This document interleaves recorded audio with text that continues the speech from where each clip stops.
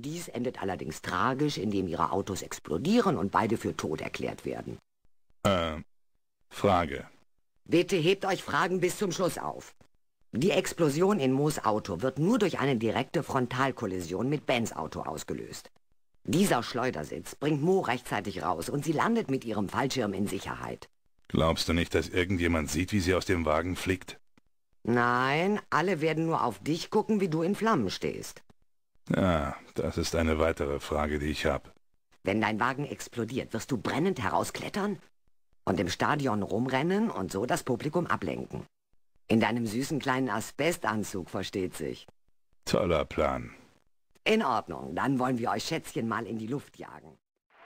Schmeißt eure Hotdogs weg, denn hier im Corley Motors Smashatorium wird es langsam Zeit für den ultimativ blutrünstigen und gewalttätigen Demolition Derby Amateurmarathon. Und jetzt stelle ich euch unsere Gladiatoren vor. Diese geheimnisvoll aussehende Figur mit der Kapuze wollte uns ihren wahren Namen nicht verraten. Er zieht es vor, der unbekannte Rächer genannt zu werden. Und für uns geht das völlig in Ordnung, nicht wahr, Leute? Oh, ich schäme mich wirklich für die beiden. Wen wollen die mit diesen erbärmlichen Verkleidungen denn täuschen? Und direkt neben ihm ist noch ein Newcomer. Gebt mir einen riesigen Smashatorium-Applaus für die Prinzessin der Zerstörung, Doreen Schmolley! Also los, Jungs. Macht sie fertig.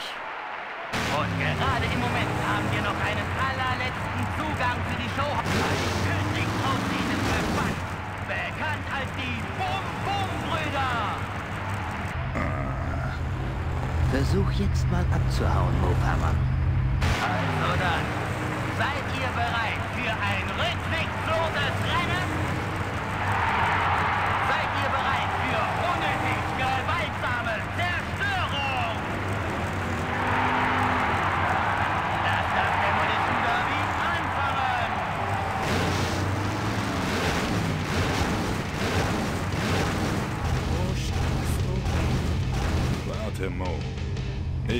Schon.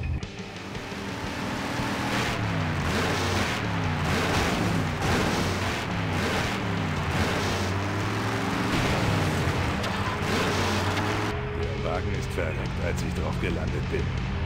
Sieht aus, als hätten die Jungs einen Glasschaden. Was machst du denn? Komm hier rüber und ramm mich.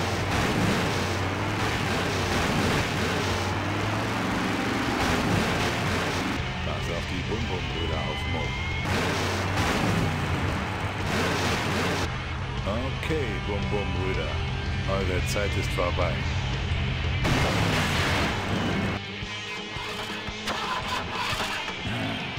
Idioten. Okay, Mo. Zeit fürs große Finale. Ach schon.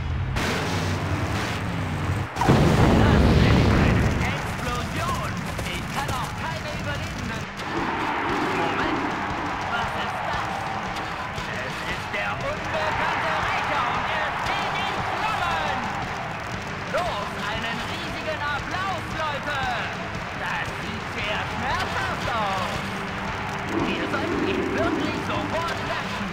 Aber was für eine... Ben, hör auf, wie den Clown zu spielen und sorge für Ablenkung. Ich bin die Ablenkung. Nimm's nicht persönlich, aber wir brauchen mehr Ablenkung. Das Motorrad wird bewacht.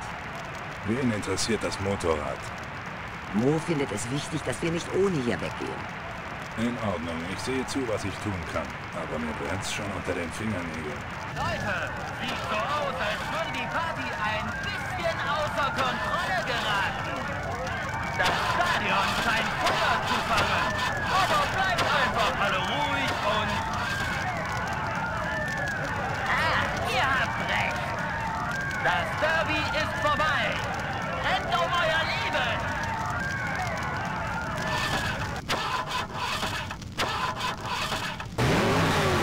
Na, endlich. Und jetzt zerquetscht dieses Glühwürmchen, solange es noch leuchtet.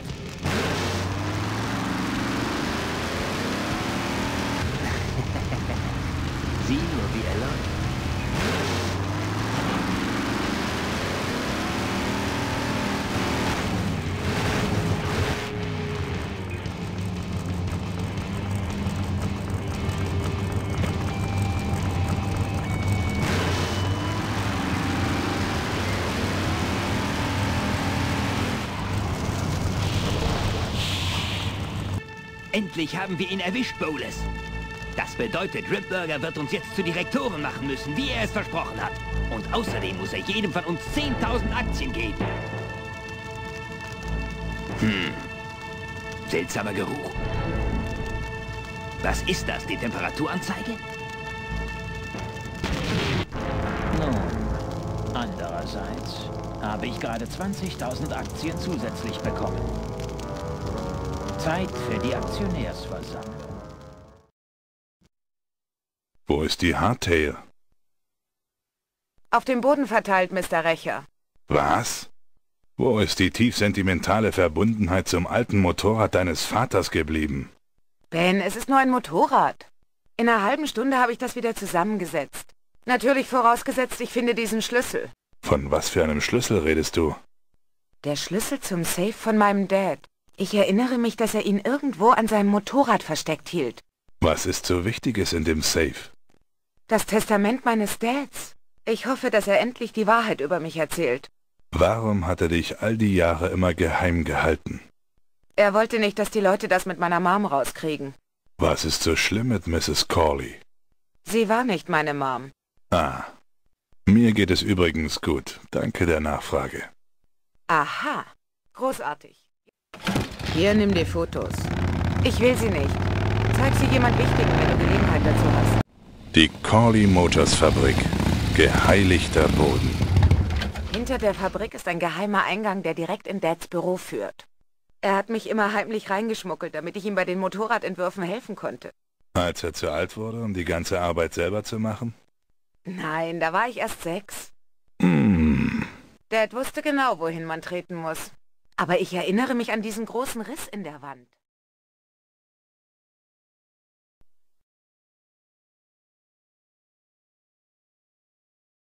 Seht euch an, wie das Stadion brennt. Das wird ein Loch in die Pensionskasse reißen.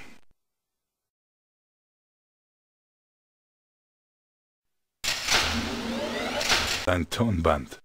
Ich hoffe, das ist Corleys Testament.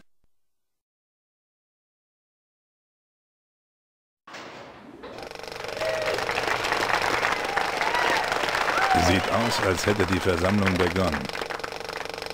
War nicht nur ein inspirierender Arbeitgeber, sondern auch ein großartiger Freund. Sein Verlust trifft uns alle schwer.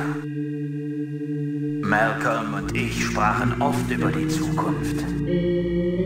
Wir sprachen über den Tag, an dem Corley Motors jenseits seiner bescheidenen Anfänge den Schritt in ein neues Zeitalter der Fahrzeugtechnik machen würde.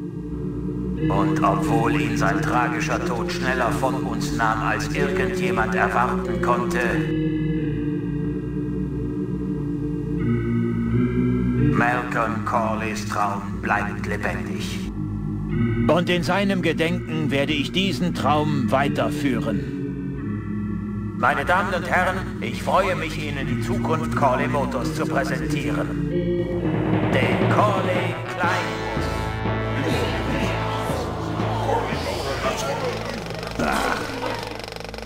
Corley hatte recht.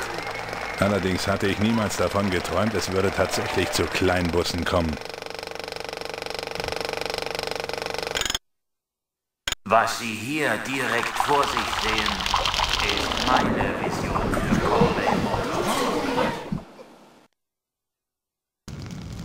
Oh, perfekt. Das ist eine Katastrophe. Was Sie nicht sagen. Wir haben hier einen größeren Maschinenausfall. Warum erzählen Sie nicht einen Witz oder sowas?